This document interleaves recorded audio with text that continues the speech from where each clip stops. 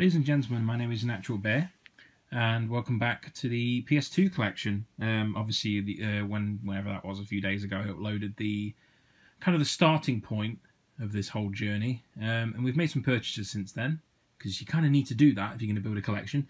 Um, so yeah, we've got four overall purchases, um, but they're all of multiple games, so we've got quite a few to get through. So uh, we'll start with the most simple purchases that we did. Um, these games were £1.12 each with delivery. Um, so we've got Brothers in Arms Road to Hill 30. Uh, this does not work. um, I tried to play it and it just would not load at all. Um, I'm trying to think, is the disc... Oh, no, I remember this one. So if you look around the edge of the disc, if I can get a good shot of that. There you go, you can see it there there's like residue or something around the disc. It looks a bit like glue or something, which is not not fantastic. Um, so that game just doesn't work. So we're going to get a refund for that, which is annoying. Um, we are going to keep the case, however, because the case itself is actually fine. It's just, you know, the actual disc is screwed up. We could also keep the manual, I suppose. But I feel like this game, you can buy this game for 50p in CEX. Obviously, I kind of play, I paid a bit more than that because of delivery, ultimately. Um, but point is, this game's not very rare, so I can pick this up no problem, basically on a random bundle or something. And then we've got Mercenaries here. Um, this actually came in a red case originally, but I swapped it out. Um, I'll explain what I swapped it with later on. But uh, there's no manual with this one, unfortunately, but the disc is absolutely fine. Uh, these games have all been tested, by the way. If any of them don't work, I will explain later, but as you can see, disc is all good on that one. Uh, so there's that and then the broken game, which we'll be getting a refund for, obviously. Um, then we've got this lot here. So these were these cost me twenty four pounds overall.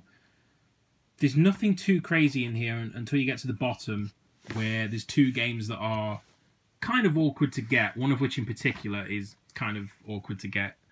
Um, but we'll explain when we get to the bottom. So I did pay more than you would usually pay because I think there's like 11 games in here, and not and like I say, other than those two, they're all pretty standard titles. But it's those two titles that makes it worth the money ultimately.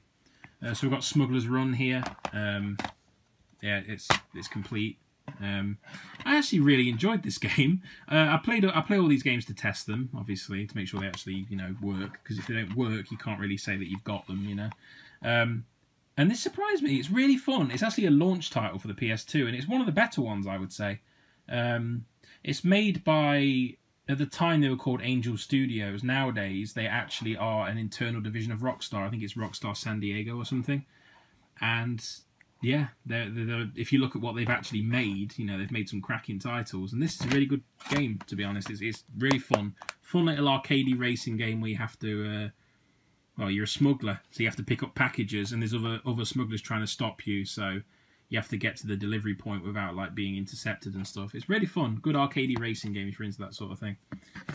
Uh, we've got oh this thing Warhammer 40k Fire Warrior. Um, this game is it's it's pretty awful. I'm not gonna lie. Um, it's it's funny in like a it's funny what it's awful in a funny way is what I tried to say. Got it the wrong way around. Um, yeah, it's if you've ever if you ever need to watch a funny uh, YouTube video, go and watch. Uh, there's a YouTuber called Lord Mandalore, and he does reviews of like old games and stuff. Go and watch his video on this game. It's great. Um, there's only two words you need to know. It's quiet. And if you watch that review, you'll understand exactly what I'm talking about.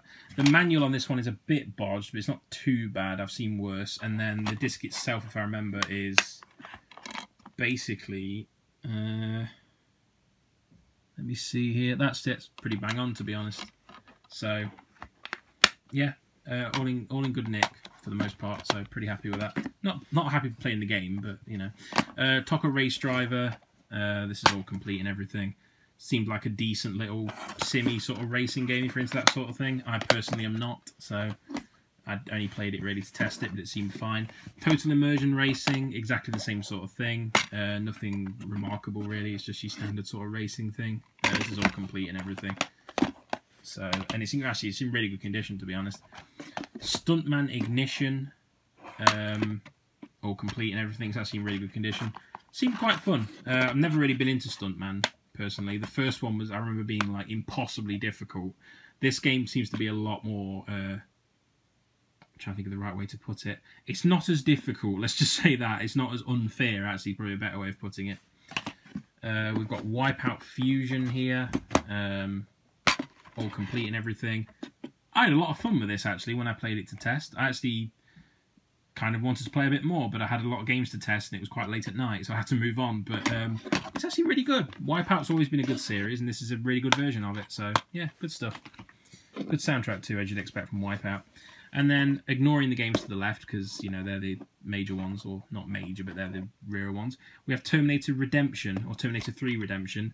I can't believe how much fun I had with this game. Genuinely, it's so it, it's it's it's not actually a good video game, right? It's it's it's kind of janky and I don't know, just a bit off. But my god, it's fun.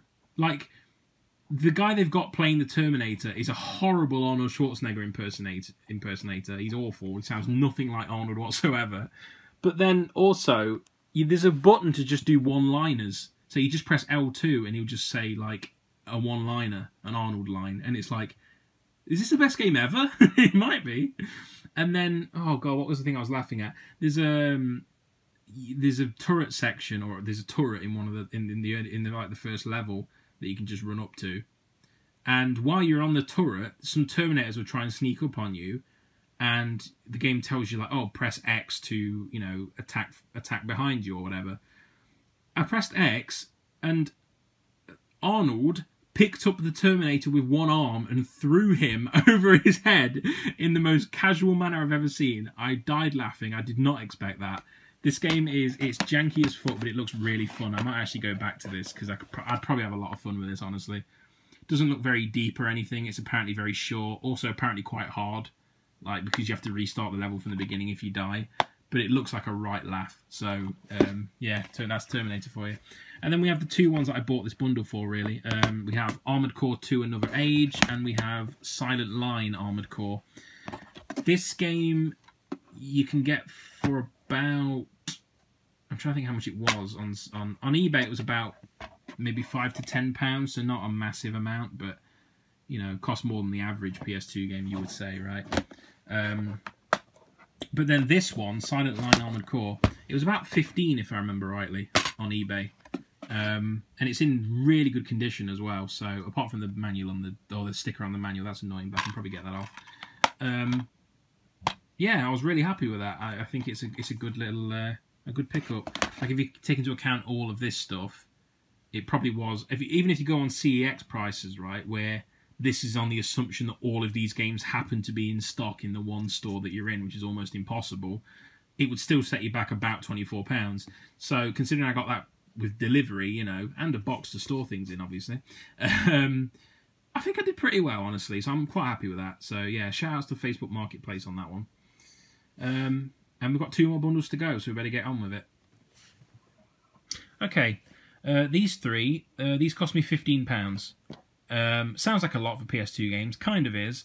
But again, CEX prices, you're looking at about that anyway. Again, all three would have to be in stock, and given that two of these games are relatively uncommon, that's not going to happen. So overall, I think I was happy with that. Uh, we've got Chaos Legion here. Um, this is the least rare of the three. Um, all complete and everything in okay condition. Um, this game's kind of interesting, honestly. It's like a it's a hack and slash game, Capcom hack and slash game, where you basically the big the gimmick of this game is that you can command like a legion of demons to fight by your side, and these demons all have different, uh, or the different armies all have different abilities and stuff. So not a bad little game, honestly. A little bit of a. This is a classic example of like a seven out of ten game, which the PS2 was fantastic at. It had a ton of like mid-tier kind of games that were, you know, they they were they did exactly one thing and did it fairly well, and this is a good example of that, I would say. And then next up, we've got uh, Zone of the Enders Second Runner here. Um, it's a special edition on the bottom, but I don't know if all of them say that. I have no idea. I, I, yeah, no idea. Um, probably need to look into that. But yeah, uh, there's no manual, unfortunately, um, which is really annoying. But um, it's all there and everything in terms of, well, I say it's all there. We've just established it's not all there. But the disc is there, and uh, the disc is in decent condition. Um, yeah, this usually sets you back. I can't remember how much this sets you back exactly. I want to say between 8 and 10 pounds, something like that. So not too bad there. And then Dirge of Cerberus Final Fantasy VII. This is, uh, from what I can gather, it's quite hated by Final Fantasy fans because it's a uh, it's like a canonical thing and kind of shits on some of the things that Seven did, and also it's a third-person shooter, which a lot of people didn't like. Um, I have barely played Final Fantasy VII, so I have absolutely no uh, feelings towards this game one way or the other, really. Um, but yeah, it, it's all there and everything. The manual's there. Um, yeah, the manual ripped slightly because some idiot had put a sticker on it and I had to try and peel it off, and then yeah, so it's ripped slightly, but other than that, it's absolutely fine. So yeah, that's the three games that I picked up, fifteen pounds. Um, so you know, Had to do that because the spine was on the other side. Um, yeah, so not too bad overall. And then there was this box here, quite a big box. Uh, we'll start with the disc only ones here. Um, move the box out of the way a little bit. Um, so these are disc only, but I have three of them. So they're just duplicates. So that's great because I can check if these discs are better than mine, which they're probably not because all three of these discs are kind of scratched up. They do all work, I believe. I think I tested these ones. I don't know. Um, so what I'm going to do is once I get enough duplicates together, I can just salvage any cases that I need, and the rest of them just go in an eBay lot or a Facebook Marketplace lot or something like that, and I can just sell them for whatever money I can get. But yeah, there's Terminator 3 again. Um, that copy is definitely worse than the one that was that I showed you earlier, so that would just be kept as a duplicate. That's 13. I will have to dig out my copy and see if the uh, if it's any better. I don't actually know. Uh, this red case is what uh, Mercenaries came in originally, and I swapped the cases because obviously I'm going to keep Mercenaries, and then th whereas this copy of I think it's Cars, right? No, this is 007 Nightfire, so that's a duplicate as well. Um, so that's all fine. And then this dirty, horrible white case um, is Cars, Disney Pixar Cars. Um, obviously, this is just going to be a placeholder really until I get a boxed copy, and then this one can go on eBay or wherever I'm going to put them. Probably Facebook Marketplace just for a quick sale because I'm not, you know, whatever money I can get for them is whatever, really, isn't it? Um, so we'll start. Uh, this also, I, I also have this game, but there's obviously this copy's boxed. Prince of Persia: The Sands of Time. My copy does not have the manual, whereas this one does, and it's a pretty good condition manual. The disc is definitely worse though, so we're going to take the manual out of this one, put it in my other copy, which is also it's a black label copy as well. It's not platinum, so it's also a bonus. But yeah, this is just going to go straight on eBay when we get enough stuff together. Uh, we have Smackdown Shut Your Mouth. Uh, case is not fantastic, um, but if I remember rightly, the disc is pretty good and the manual's there and everything, so um, it's a decent copy. Um, and I played a, a, round of this test, and it's still really fun.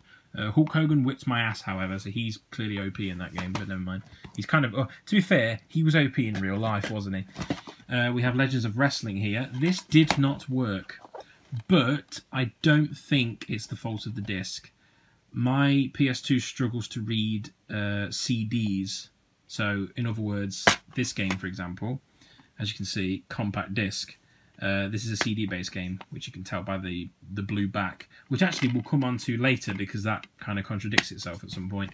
But yeah, this didn't run, which I'm assuming again is to more be because of the fact that it's a CD-based game. Because if you look on the back, there's barely any scratches or anything. It looks like it should play fine. So I will keep this and I will test it on a a different PS2 because I plan to get a new PS2 at some point if I can find one for a good price. Because um, mine's kind of it's not dying as such, but it's it's not fantastic. Um, so we'll keep this one anyway. Um, and then obviously if we test it on another PS2 and it still doesn't work, then we'll have to pick up another copy. But by then we might have already have another copy. I don't know. But if put it this way, if we get another copy of this and it also doesn't work, then I'm just going to assume that it's the PS2 and not you know me that's got the issue. Uh, Devil May Cry 3 Special Edition. There's actually two versions of this game. There's the normal edition and this version. Um, so I'll have to pick up the normal edition as well at some point. Um, yeah, it's all complete and everything. It's actually in pretty good condition, so happy with that. And it's still an absolute banger of a game, by the way. Love Devil May Cry 3, it's so good. But I mean, nowadays you just play the HD version, really, wouldn't you? On the on, I think it's on consoles is it on? It might be on like PS4 and Xbox One. I know it as being on PC, so. Uh, Ratchet and Clank, the original. This is can be quite hard to not hard to find. It's easy to find, but it can be. You know, you're looking at maybe seven or eight quid. So I think getting this was a pretty good little little deal, and it's in good condition and everything runs absolutely fine. So good stuff. Happy with that. Good game as well, obviously. Uh, Family Guy the video game. Uh, yeah, not not great. Doesn't have the manual, which is a shame. I watched the opening cutscene of this. The first two jokes were so far away from landing, I cringed. They were awful jokes, not remotely funny in any way. Also, really aimed at Americans, but I don't even think Americans would find it funny. Like, what it says on the back here, see if I can find it. Uh, voiced and scripted by members of the Real Family Guy TV show creative team. All that actually means is these jokes were too shit for the TV show, so we put them onto the game. Because my god, you need a humour transplant to find that funny. Jesus. I mean, Family Guy can be very hit or miss anyway, you know, but good god, even by the standards of Family Guy, that was really bad. This next game is a it, it, it's a thing. Let's just say that Lake Masters EX. I don't know what the EX stands for. Whether that's uh, maybe this is like an upgraded version to a PS1 game or something because it had that vibe to it. This is always a bad sign. Midas, Midas, don't know how you pronounce them. They only ever published like budget games and like I mean really low budget games. By the standards of budget games, this was actually like kind of fun in a weird sort of way. It's a complete mess. Like I can't even explain the soundtrack and how insane that is, but it's kind of oddly compelling. Um, so I, I, guess that's good. It worked fine, by the way, even though it is a CD game. It worked absolutely fine. Is this the game that completely baffled me? No, it's not. Okay, we'll we'll get onto that. But there's a game in here that baffled me in many ways, actually. But uh, there's in one way in particular that just made no sense to me because it contradicted everything I thought I knew. Um, we have the Haunted Mansion. Um, these games, I, I, didn't say these games were good, by the way. Um, this was weird. I thought this was going to be like a Luigi's Mansion knockoff, but it's actually like a more of a shooter, maybe. Very bizarre. Um, has elements of Luigi's Mansion though, definitely. Um, but yeah, it's like I say, this sticker's pain in the ass, you know. But what can you do? But yeah, it's all in there and everything, the manual and stuff. Um,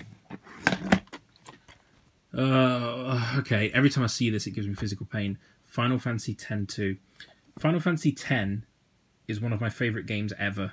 It's my favourite RPG ever. I mean, granted, it's one of the only ones I've actually really liked because I'm not generally an RPG player, but for whatever reason, FF10 really grabbed me.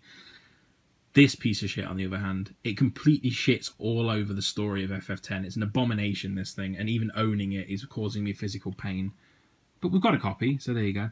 Um, yeah, it, it works absolutely fine. The manual's in there. It's actually in pretty good condition, honestly. But yeah, unfortunately, the game exists, so we've got to have it to complete the collection. Uh, we have Bionicle, which is based on the Lego thing. Um, yeah, it's all complete and everything. I think the manual's there. Yes, it is. Um, sticker on the disc. I forgot about that. Uh, yeah, the stupid game store that sold this before had put a thing on the rim advertising their store, which don't do that, lads. Um, so that's that's a blemish. But other than that, the game is all there and everything, and works fine and all that good stuff. Uh, Shrek the Turd. Um, this is just like a, a beat 'em up thing. Uh, it's all in there and everything good condition, works fine, etc. Uh, this game did not work. Uh, Pacific Warriors Dogfight. Oh, sorry. Pacific Warriors 2 Dogfight. Um, it's by Midas, Midas again, which is not great. Uh, there's no manual either, which is annoying. Um, yeah, it's a CD game, so again, it should have worked, but it just didn't. So I'm gonna keep this to one side with the other Legends of Wrestling, and if that doesn't work on that, then obviously I know it's the game. But if it does work on another console, then you know it's all good. We have a natural good game for the first time in a while. Lord of the Rings: The Third Age. I love this game. It's so good. EA knocked it out of the park with these Lord of the Rings games from this period. You had the Two Towers, which I haven't played, but I'm told is good. You had Return of the King, which was fantastic, and then you had this one, The Third Age, which is like it's a turn-based RPG essentially. If you've if you've played Final Fantasy X, it plays very similarly. Like the combat's basically identical, um, and it's it's really good. It's just a very very good RPG. Um, and if you're a Lord of the Rings fan, you'll you'll you'll probably love it. To be honest, if you like RPGs and Lord of the Rings, so yeah, that's a good good game, good title. Unfortunately, never got ported outside of like the PS2 and the GameCube. There might be an Xbox version, I don't remember, but yeah, it's a shame we didn't get like a, a HD port of this. But obviously, the fact that it's a movie tie-in, I don't think EA even yeah EA definitely don't own the rights to Lord of the Rings anymore. That's uh, Warner Brothers. So we're probably never going to see this game again, unfortunately. Um, but I'd love like a spiritual successor if Warner Brothers made one. I think it'd be great. So uh, we have Charlie in the Chocolate Factory. There are stickers, but I when I tried to peel this one, it started to. You could see like it was going to leave a, a mark. So I'll probably try and get the stickers off these. Um, but yeah, this is just like a, a 3D platformer, pretty much. I didn't play very long of it, obviously. That's the thing with games like this not I'm not quite the target demographic anymore. You know, I'm a 28 year old man, so it's it's not really uh, it wasn't made for me, was it? Let's be real. Um, I feel I feel like I, put it this way, I feel the same about games like this that I feel about anime. It just wasn't made for me, and that's fine. Um, SmackDown. I'm not saying anime is only for kids, by the way, so don't get on me on at me about that. I just mean that it's not for me. That's literally all I meant. Um, SmackDown Just Bring It, uh, weird game. This was like the transitionary game between the PS1 and the PS2, so it's got a lot of issues. Small roster, terrible story mode.